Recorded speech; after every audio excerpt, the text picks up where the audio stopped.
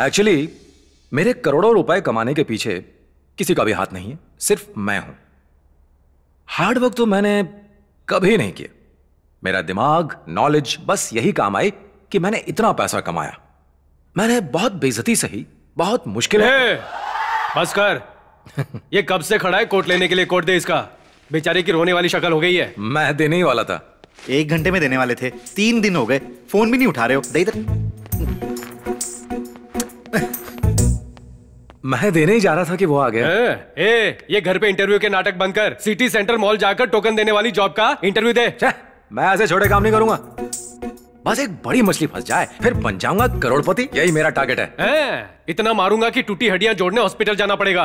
कौन सा काम करके बनेगा तू करोड़पति? कौन देगा तुझे काम? सुपरस्टार अमिताभ बच्चन वो कौन सी जॉब देंगे तुझे? मैं कौन बनेगा करोड़पति? में पार्टिसिपेट करूँगा हर हॉट सीट पर बैठकर शान से आंसर दूँगा और टशन में कमाऊँगा। एक करोड़ देख लेना।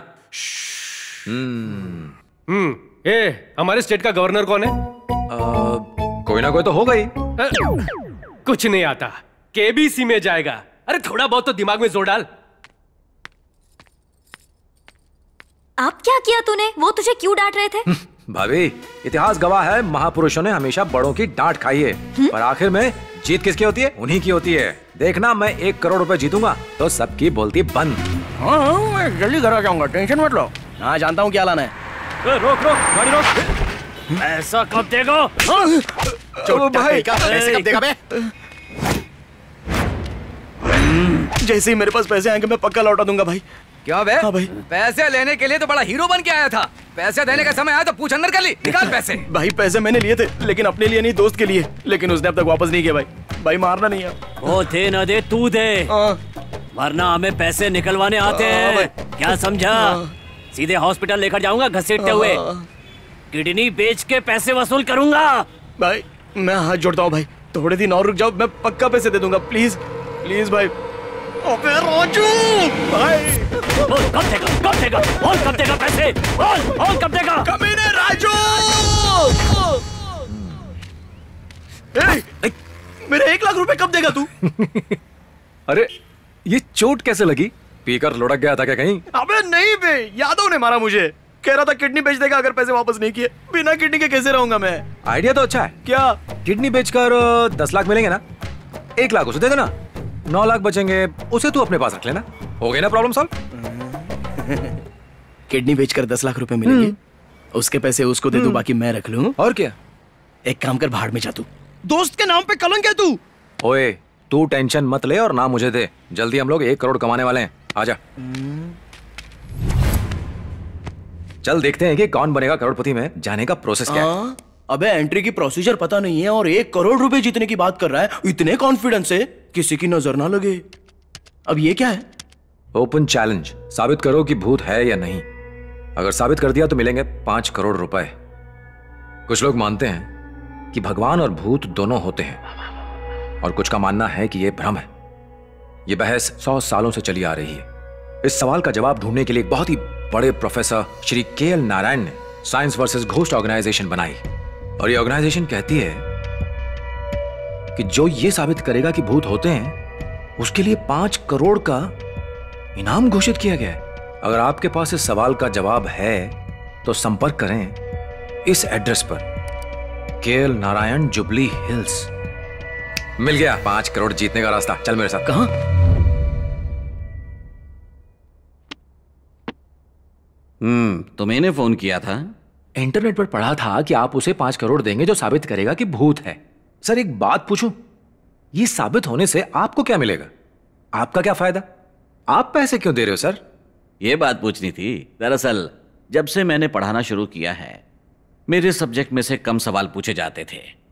और सबसे ज़्यादा सवाल यही पूछा जाता था कि दुनिया में भूत या सुपर पावर्स होती हैं या नहीं। साइंटिफिकली ये बात साबित करने के लिए हिमालय पर बहुत सारे ऋषि मुनियों ने तपस्या की। काशी के संत और गुफाओं में अघोरीज ने की। बल्कि मैंने भी बहुत सारे भूत प्रेत देखे। पर कोई फ़ायदा नहीं हुआ कोई सबूत नहीं मिला। जब जब ख्याल आया जाने दो। हर बार मन ने कहा कि भूत होते हैं। बाप रे! मैंने सुपर नेचुरल पावर्स पर यह किताब भी लिखी है। ये सवाल बार बार मेरे सामने आकर खड़ा हो जाता है। कि भूत होते हैं या नहीं और मुझे चैलेंज करता है कि मैं ये जवाब नहीं दे सकता। तो मैंने एक फैसला किया। अमेरिका की रैंडी संस्था की तरह भारत में भी एक ऐसी ही संस्था की स्थापना की जाए इसलिए मैंने यहाँ साइंस वर्सेस खोस्ट की स्थापना की। और मुझे पूरा यकीन है कि कोई इनाम के लालच में आकर सच में साइंटिफिक सबूत जुटाकर यहाँ आ ही जाएगा। किस तरह का सबूत चाहिए आपको? आ, photos videos audios anything sir भूत होते हैं। मैंने कई बार देखे हैं। मैं आपको सबूत ला कर दूँगा। बहुत से लोगों ने ऐसा कहा पर जानते हो वो सिर्फ़ ग्राफिक्स लाए। ये देखो रैक्स में ढेर लगा हुआ है। अच्छा सर आप पाँच करोड़ रुपए कैसे देंगे? चेक में या कैश में? ट्रांसफ़र करवा ले। और टीडीएस काटेंगे तो मैं जीएसटी का बिल दूँगा। तो डील पक्की सर। चलते हैं सर। सर सबूत लाने के बाद मज़ाक तो नहीं उड़ाएँगे ना? मज़ाक? मज़ाक क्यों उड़ाएँगे? Okay sir okay thank you thank you sir okay sir. चल जल्दी चल। मैं कैसे भी करके भूत को पकड़ लूँगा। हाँ भूत खुद चल के आएगा ना। अमावस्या की रात को 12 बजे पैदा हुआ था मैं। मुझे भूत पक्का दिखेंगे। लेकिन प्लान क्या है बे तेरा? कैमरा लेकर कब्रिस्तान जाएँगे। फटाफट फ़ोटो खींचेंगे प्रिंट निकलवा कर प्रोफेसर को देंगे काम खत्म। हाँ भूत माल्या की मॉडल्स है ना बड़ा आया। चुप कर। जो पैसे मिलेंगे उसमें से दस लाख दूँगा। अपना उधार चुकाने के बाद हाँ। बाकी पैसे उधार पर दे देना। अरे यार पता नहीं ऐसा हो पाया गया नहीं पर सोच के मज़ा आ रहा है कि अनसेंसर्ड वीडियोस देखने का घर पे मज़ा लूँगा वो भी फाइडी पर। हाँ तो तैयार है ना? हम दस बजे कब्रिस्तान जाएँगे। हाँ, क्या कहा? मैं क्यों कब्रिस्तान जाऊँगा? अरे भूत को पकड़ने और क्या? ए भाई इस मामले में मुझे बख्श दे। मुझे इस बात से बहुत डर लगता है। मैं तो अपने दादा के क्रियाक्रम के लिए अभी कब्रिस्तान नहीं गया था। मैं नहीं जाऊँगा तू ही जा। नहीं जाएगा। नहीं। नहीं जाएगा। बोला ना नहीं। एक लाख दूँगा बस। अरे नहीं यार। ये तो गलत बात है। तो सुन साथ चलेगा तो पैसे में हिस्सा मिलेगा। नहीं तो जा उस यादव के पास चटनी बनाएगा तेरी। कैसा दोस्त है किस्मत ही खराब है मेरी। प्रैक्टिस करती रहो हाँ बेटा ठीक है। ठीक है ना? तो चलो करो। करो ना।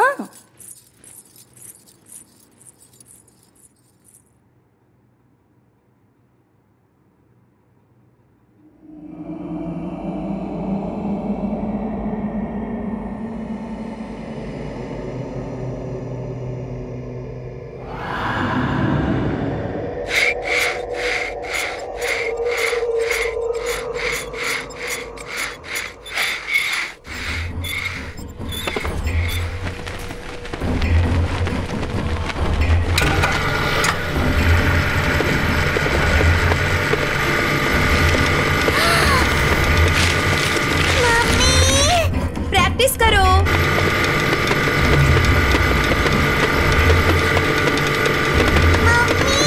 हाँ।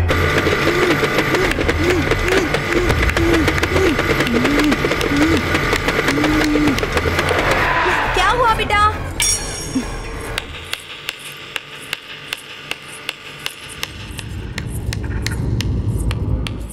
क्या हुआ? मधु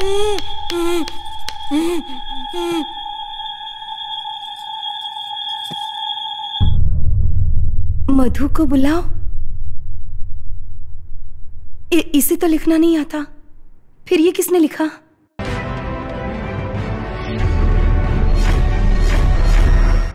का हमारे ये शो समाज में व्याप्त अंधविश्वास के ऊपर है। प्रजा चैतन्य वर्दी एक ऐसी संस्था है जो लोगों के अंधविश्वासों को दूर करती है और उनमें जागरूकता लाती है। जिन्होंने संस्था को खड़ा किया है वो है मिस्टर राजा रेड्डी साहब। नमस्ते सर मेरे शो में आपका स्वागत है। नमस्ते। मैंने सुना है कि प्रजा चैतन्य वर्दी के लिए आपने अपनी जॉब छोड़ दी। अंधविश्वास को दूर करने के लिए आपने अपने व्यक्तिगत जीवन को भी दांव पर लगा दिया। इन सब के लिए आपको प्रेरणा कहाँ से मिली? मैं एक गाँव में पैदा हुआ। मेरी बड़ी बहन को बचपन में साइकोलॉजिकल प्रॉब्लम हो गई थी। उन दिनों मेरे पेरेंट्स को साइकोलॉजिकल प्रॉब्लम के बारे में पता नहीं था। उन्हें लगा उसके अंदर भूत है और वो उसे एक तांत्रिक के पास ले गए। तांत्रिक ने भूत भगाने के चक्कर में छड़ी से मार मार कर उसे बहुत दर्द पहुँचाया। मेरी बहन बहुत रोती थी। कुछ दिनों बाद उसने सुइसाइड कर लिया और वो मर गई। मैं बहुत दुखी हुआ।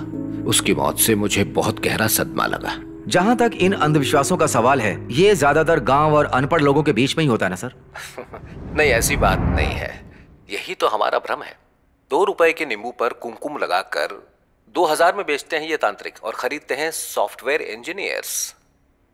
अंकल इंटरव्यू कमाल है। हाय बेटा। हाय डैडी।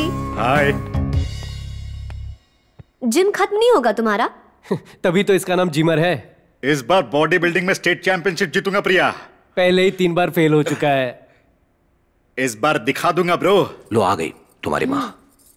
कुछ लोग कहते हैं कि उनके घर में भूत है और उसके चक्कर में मम्मी के लिए? के उपाय भी करते रहते हैं। मैंने प्रार्थना की है आपके घुटने का दर्द चला जाए। आरती लीजिए। हम्म? अरे घुटनों का दर्द तो धीरे धीरे दवाइयाँ लेने से ही दूर होगा। भला ये पूजा पाठ से कोई दर्द जा सकता है? कब समझोगी तुम ये बात? आपके घुटनों के दर्द के लिए मैंने भगवान से मन्नत मांगी है समझते क्यों नहीं? मैंने हज़ारों लोगों के अंधविश्वास को दूर किया है पर पिछले तीस सालों में तेरी माँ के अंधविश्वास को दूर नहीं कर पाया मैं। आरती। मम्मी के लिए? मेरे लिए। तुम्हारे लिए। हाँ।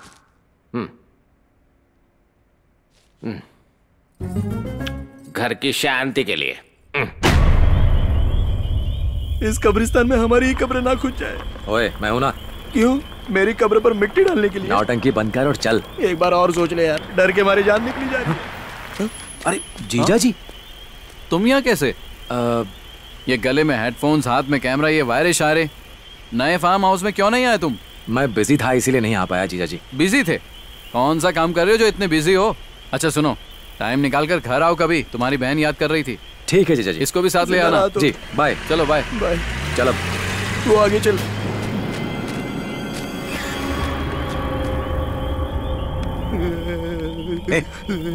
ओए डर क्यों रहा है? ए, अबे तूने क्या मुझे अपने घर पे बुलाया है खाना खाने के लिए? ये कब्रिस्तान है। थोड़ी हिम्मत रखेगा ना।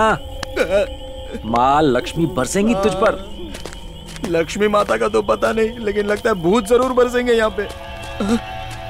जय हनुमान ज्ञान गुरु सागर जय कपीस तिहु लोक उजागर।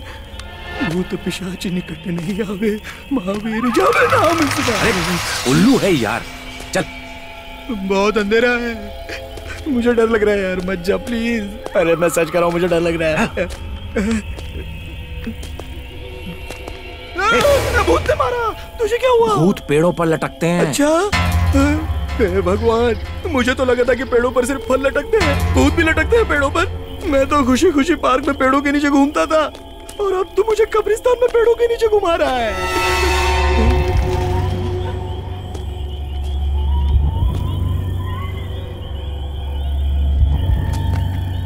ओ भूत राजा, दिख भी जा। सौ नारियल दूँगा तुझे। मिल गया मिल गया ओ, ओ, ओ, ओ, ये तो कोई पागल है। देख यहाँ कोई भूत भूत नहीं है। चल दूसरे कब्रिस्तान में चलते हैं। ए, अरे ऐसे कितने कब्रिस्तानों में घुमाएगा तू? अगर प्लॉट खरीदना है तो यहीं पर खरीद ले।